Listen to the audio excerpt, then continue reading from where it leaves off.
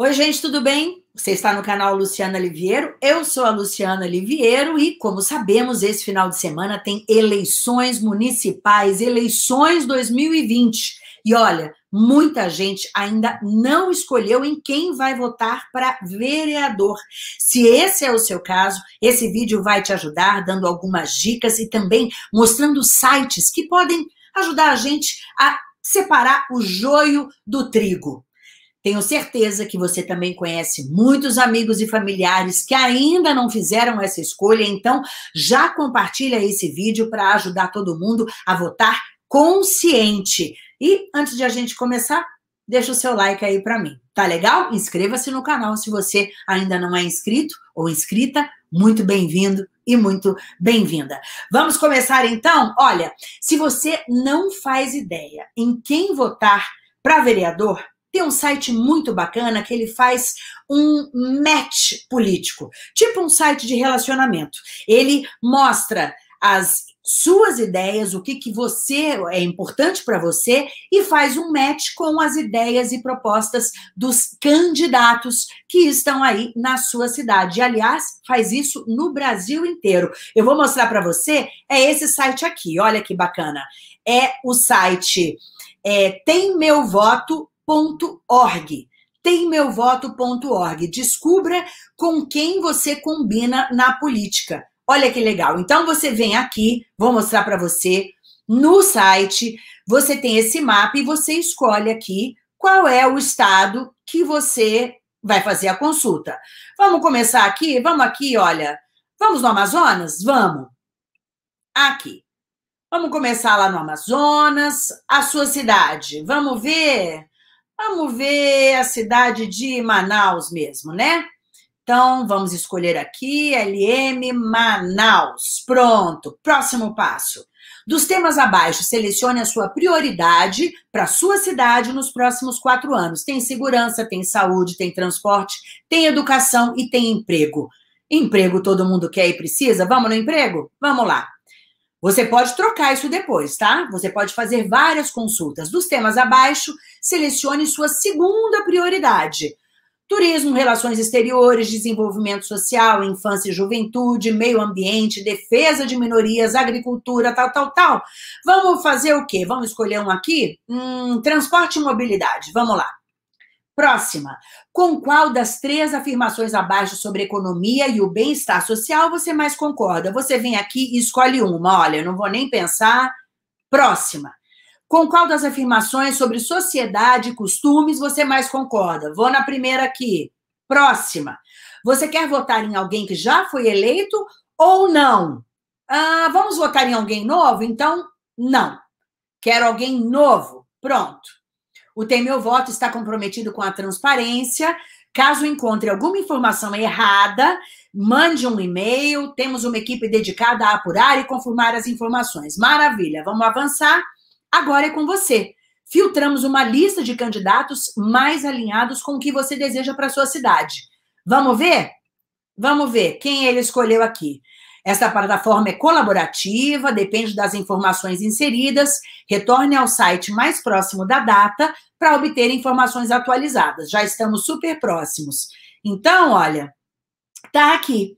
Ele faz uma lista aqui de pessoas, olha lá, e com esse score aqui de quanto que eles combinam comigo. Você pode entrar, vamos dizer que é o Carlinhos Maquiné aqui, tá? Tudo aqui, obviamente, subjetivo ele é do PSL, ele a data de nascimento, etc e tal. Então você vê que tem várias informações aqui. Alguma informação falsa ou incorreta, você pode até um, re, é, é, reportar o candidato. Ou então você marca aqui, tem meu voto, para já fixar o nome do candidato. Perfis, olha que bacana, ele mostra aqui os perfis dele, em outras redes sociais. Então, olha, super interessante. Vocês viram aí mais ou menos como é que funciona. Eu vou fechar, você pode favoritar, você viu ali. Posso consultar outras pessoas da mesma forma. Olha, aqui em cima eu posso favoritar. E aí você vai fazendo a sua escolha. No fim, você pode escolher por aqui o candidato que mais uh, te agrada, que mais tem ideias parecidas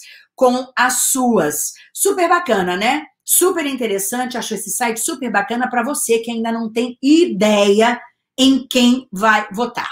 Agora, fica atento, porque a gente precisa saber, antes de qualquer coisa, o que faz um vereador.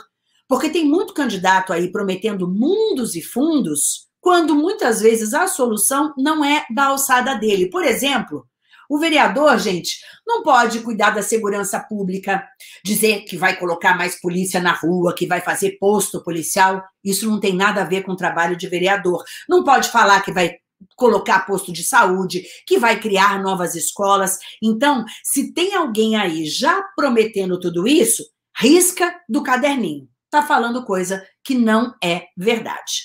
Para conhecer as propostas dos candidatos, você pode procurar nos sites ou nas redes sociais do candidato, todo mundo tem hoje em dia, você sabe disso, ou então também do partido.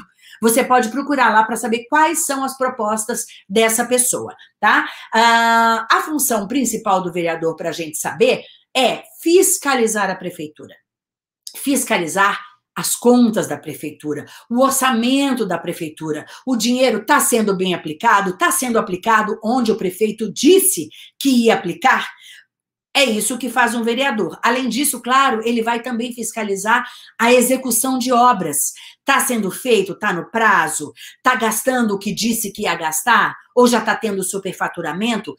A fiscalização é uma atribuição chave dos vereadores. E, além disso, claro, eles vão aprovar leis propostas pelo prefeito e eles mesmos também podem propor leis que sejam de interesse da população.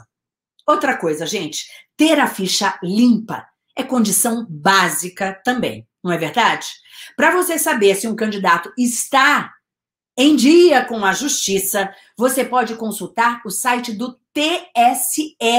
A gente vai entrar no site tse.jus.br. E no canto esquerdo você vai ver Divulcande, de divulga candidato. É essa página aqui, olha. Divulcande, tá vendo? Divulgação de candidaturas e contas eleitorais. E aí, olha, você entrando aqui, pode escolher de novo qual região você quer ver dos seus candidatos. Vamos aqui para a região sul dessa vez? E vamos aqui, olha, candidatos no Paraná. Vamos escolher o Paraná.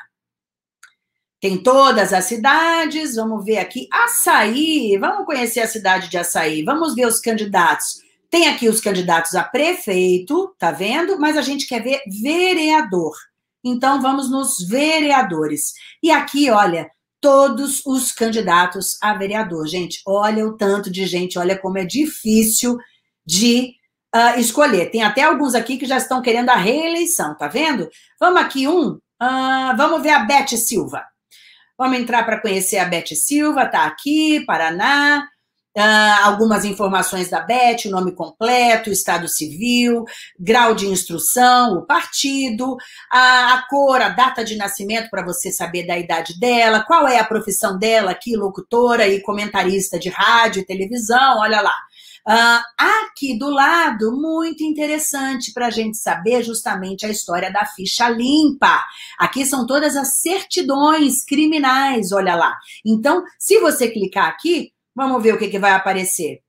Certidão para fins eleitorais, é, certifico nos termos não sei o que, mediante requerimento tal, tal, tal, criminal, juizado não sei o que, sobre minha guarda, certidão para fins, está dizendo o seguinte, é referida à verdade do fé, não tem nada contra ela, né? Então, nada aparece aqui nessa certidão. Geralmente até vem uma certidão negativa. Mas aí, para você é, ter essa ideia de como é que funciona, né?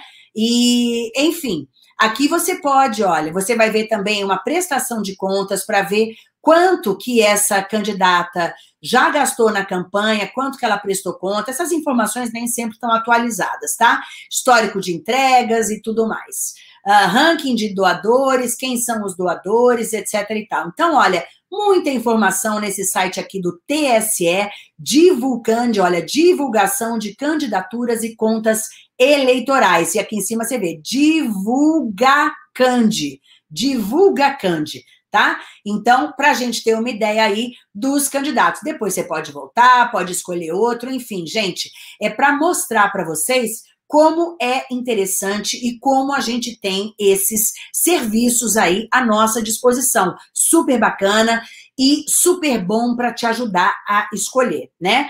É, você também pode ver a que outros políticos o seu candidato, suposto candidato, eleito, né? Um que você está avaliando, a quem ele está associado, qual a linha defendida pelo partido dele, porque todo partido, né, é de esquerda, é de direita, tem uma linha mais liberal, menos liberal. Tudo isso você pode também usar para avaliar o seu candidato. Se ele ocupa ou já ocupou um cargo público, melhor ainda.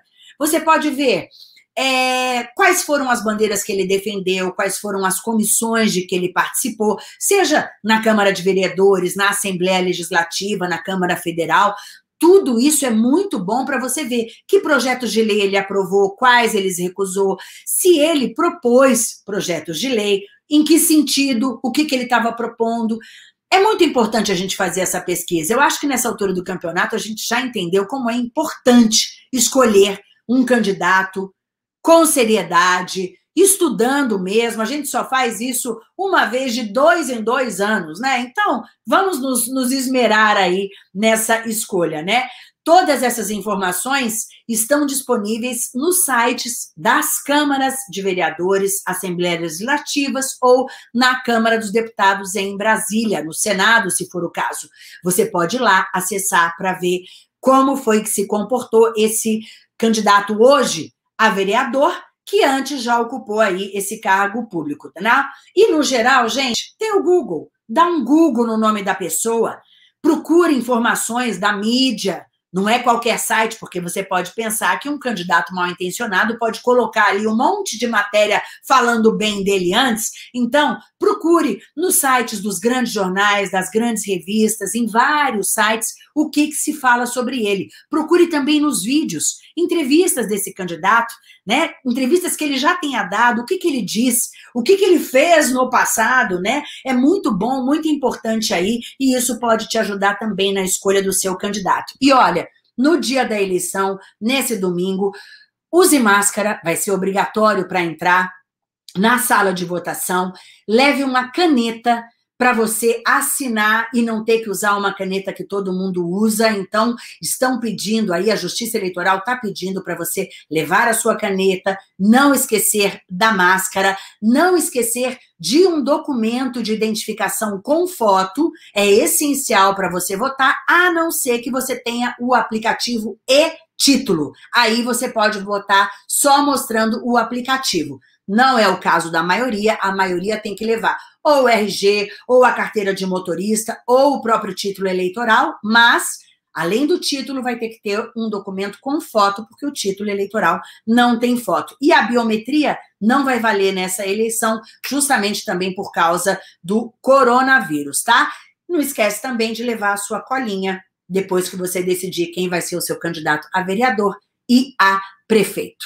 Olha, uma ótima escolha Vote consciente, vote com seriedade. A nossa vida, o nosso futuro depende de quem a gente coloca na Câmara de Vereadores para nos representar. Então, é super importante. Espero que tenha tirado suas dúvidas. Se ainda não tirei, deixa aqui os comentários. Quem sabe a gente pode trocar ideias, inclusive com outras pessoas também.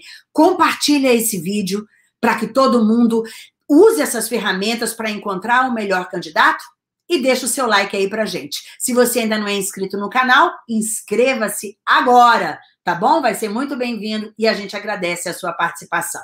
Obrigada, ótima eleição, ótimo voto, voto consciente, vote consciente e domingo à noite estaremos aqui também no canal Luciana Liviero, ao vivo, acompanhando a apuração dos votos a partir das oito da noite. Te espero. Tchau, tchau.